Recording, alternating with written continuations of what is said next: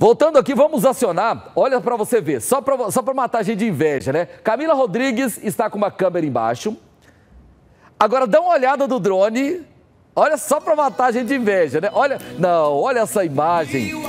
Olha essa linda imagem do drone mostrando aí as praias de Aruanã, as belezas da cidade. Olha o nosso mar, o mar dos goianos do Rio Araguaia. São imagens ao vivo para você que está ligado aqui no Balanço Geral. Essa imagem feita aí, né, que o drone está mostrando ao vivo para gente. Já tem barracas sendo montadas, sendo construídas e ah, olha aí, já ah, dá, dá para a gente ter aquele sinal do que vai ser essa grande festa, essa grande temporada. Olha aí, ó. Olha, imagens também aí mostrando já alguns ranchos, né? Onde certamente muitas famílias vão aí ocupar e já tem aí, ó, né? Já estão construindo a estrutura para montar os barracos. Então, de um lado, você acompanha imagens ao vivo do drone, do lado direito é a câmera que está embaixo também, mostrando para você as belezas. E agora a beleza e a simpatia de Camila Rodrigues, que está matando a gente de inveja. Camila, é, conta pra gente assim, como é que tem o clima? É, já tem gente chegando na cidade, ou por enquanto são os moradores é, se preparando e organizando as barracas e ranchos aí? Alô, Ares, o pessoal costuma dizer que minha vida nessa televisão é fácil, mas é mesmo. Vou deixar vocês, vocês ouvirem o barulhinho aqui quando a gente anda na água, ó.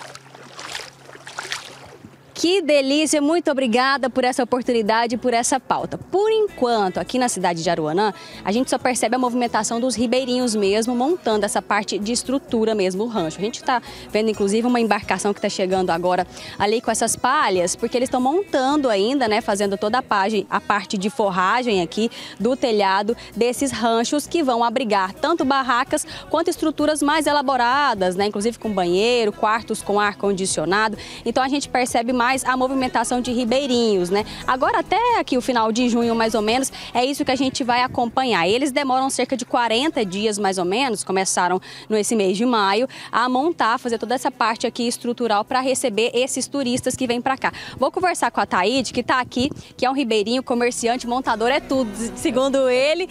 E para falar um pouquinho mais da gente, a gente está na Praia do Cavalo, né, que este ano está com a extensão um pouco menor de terra, de areia, mas eu consigo perceber que há algumas estruturas temperaturas oluares ainda dentro da água, ou seja, a água ainda vai baixar um pouco mais, né, Taíde? Muito obrigada pela sua participação, boa tarde para você. Obrigado.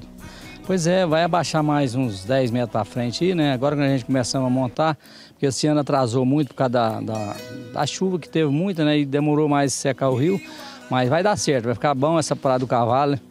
E esperamos toda a galera aí de, de, de Goiânia aí, região e Goiás aí, inteiro para participar com nós nessa temporada aqui, viu? Vai dar muita gente e vai prometer bom. A Taíde aqui, a gente está mostrando imagens ao vivo do Juscelino Noleto, Luares, essa parte de estrutura. A gente está na Praia do Cavalo 1, mas tem a Praia do Cavalo 2, que fica aqui, logo, logo a gente vai mostrar para vocês, porque é uma faixa de areia que se estende até o outro lado aqui. Então dá para vir muita gente mesmo, aqui fica lotado. É uma das praias, Luares, como eu disse aquela hora, mais bombadas aqui de Aruana. Ali, ó, ela segue toda a extensão, essa faixa de terra e emenda com a do fundo ainda. Ainda tem uma faixinha de água passando no meio das duas, né, entre a Praia do Cavalo 1 e a 2, mas eles acreditam que essa água vai baixar ainda mais e vai continuar, a gente vai ver mais faixa de terra aqui. Muita gente vem para cá, é realmente aqui vira o frevo, vamos dizer assim, né? A expectativa aqui é muito grande, vai dar muita gente aqui esse ano, entendendo? Vai ter vários shows bons aqui na cidade de Aruanã e pode vir um povão aí que vai caber todo mundo aqui na Praia do Cavalo, entendendo? O ranchão da Taíde aqui esperando vocês aqui para servir vocês o melhor possível. E vocês estão convidados, viu, povo do Goiás, aí, vir para a Praia do Cavalo aqui em Aruanã, hein? Taíde, aqui são várias modalidades né, de abrigo. Tem como a pessoa escolher um rancho assim, que vocês montam, ficam na sombra. E tem aquela pessoa também que não quer rancho, que quer vir acampar, né? Como é que funciona assim? Aí ela vem, traz a barraca dela, monta onde ela quiser? É, exatamente. É, se precisar da sombra de um ranchinho, a gente temos ranchinho também. Se não quiser, acampa vamos se pôr na tenda ou no guarda-sol, na, na, barraca de campo, tá não precisa ter rancho. É, aqui é gratuito, aqui ninguém proíbe ninguém de acampar, tá entendendo? Só os ranchinhos que a gente faz que a gente aluga. Agora, a média de preço, assim, para o pessoal que está acompanhando a gente, para a gente entender um pouco como é que funciona esse aluguel aqui do rancho. É uma família que quer vir aí, vamos dizer, quatro pessoas para passar cinco dias aqui em julho. Quanto que ela vai pagar por uma estrutura dessa daqui para ter sombra? Uma sombrinha dessa aqui, ó, você vai pagar a faixa de 250 por dia, tá entendendo? 300 por dia o máximo. Tem rancho que cabe 20 pessoas, tem rancho que cabe 30, 40 pessoas. Então aí va, va, é, varia de, de quantas pessoas que vem e o tamanho do rancho que ele precisa. Agora a estrutura aqui, Luares, essa parte ambiental também é muito importante, você citou no começo, né? Eles fazem com bambu. Então tudo isso aqui, depois que acaba, é retirado daqui, né? Não fica nada aqui na praia para o rio subir e seguir seu fluxo normal. Né? Exatamente, a gente deixa a praia o jeito que a gente pega, limpinho, sem lixo, sem paia, sem bambu, sem madeira, sem nada. A gente leva tudo para a rua, tá entendendo? E consome a, a, os lixos, a gente leva, a prefeitura também tá de parabéns, né? Porque o trabalho que eles, que eles apontam aqui para nós, limpa, não deixa lixo nenhum na praia, tá entendendo? Mantenha limpa e vamos preservar a natureza, todos nós. Se todo mundo fazer a sua parte, é, não sobra nada para ninguém, né? E cada um faz sua parte e manter o Araguaia limpo, as praias limpas, é, e todo mundo quer isso aí, né? E aí, mantendo esse ano limpo, o ano que vem tem mais, né? E aí, Oloares, o Ataí estava aqui, ah, esse ano o Oloares vai vir? E aí fica aí a pergunta, esse ano você vai vir, ó, para você telespectador, a gente está montando aqui uma Arena Record a partir de julho, vai ter muita animação, vai ter nossos apresentadores aqui também. E a gente quer saber, o Oloares vai vir vai desfrutar dessa beleza aqui junto com a gente?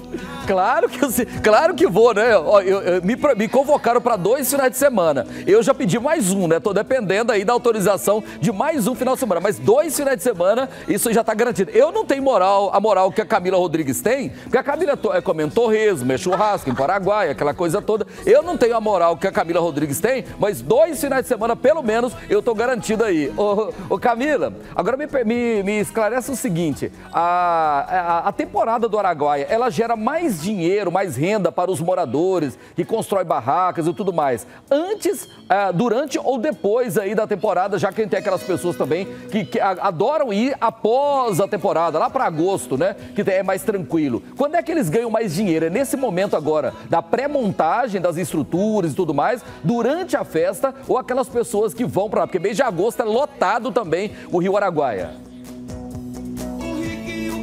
Lares, tem rancho aqui que fica até setembro, viu? Principalmente com os pescadores. A Taíde, vocês ganham mais dinheiro antes, durante ou depois da temporada ou o tempo todo? Como é que funciona? Aqui mais, aqui o Fox mesmo é meio de julho, né? É, passou... Durante, então? Durante o mês de julho. Passou o mês de julho e fica fraco. Aí vem um pescador, tá entendendo?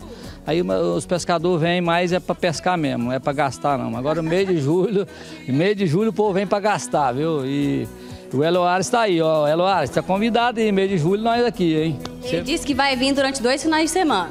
Dois finais de semana tá bom demais. Você vem aqui no ranchão tomar aquela cerveja gelada com nós, hein?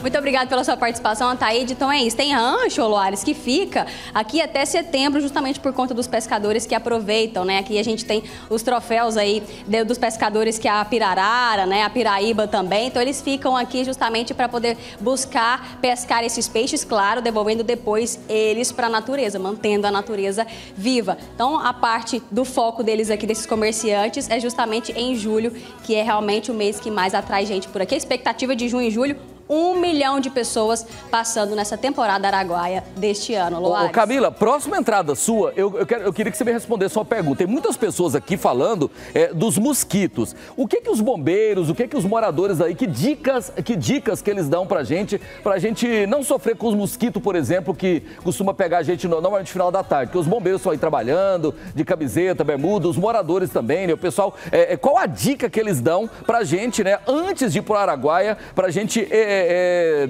é, lidar bem com os mosquitos aí? Você vai responder pra gente daqui a pouco, viu? Aliás, tem muitas pessoas fazendo essa pergunta pra mim aqui. Não, gente, ó, tem alguns segredinhos, tem algumas coisas aí, mas a Camila vai trazer a dica de quem já está no Araguaia e vai informar pra gente. Combinado? Obrigado, Camila. Até daqui a pouco. Olha, gente, que delícia ver essa imagem aí do drone do Rio Araguaia. Abre aí pra gente, ô Elias. Olha aí, gente. Olha aí, essa imagem ao vivo para você que está acompanhando aí. É, ô, Camila, essa imagem que o drone está mostrando é a Praia do Cavalo? bye. Loares, sim, a gente está conseguindo ver, inclusive, o equipamento aqui do Giovanni do Drone, é a Praia do Cavalo, sim. A gente consegue ver toda a extensão de terra aqui de uma das praias mais buscadas pelos turistas desse ano, viu, Loares? É, realmente a praia ficou menor, a Praia do Cavalo ficou menor, né, do que a, a última vez que a gente foi, mas certamente vai ter outros, outras praias aí para as pessoas buscarem também. Daqui a pouco a gente volta aí direto de Aruanã, às margens do Rio Araguaia, né, onde nós vamos, Clara Record vai estar lá presente com eventos, muita coisa bacana que a gente vai anunciar logo, logo para você.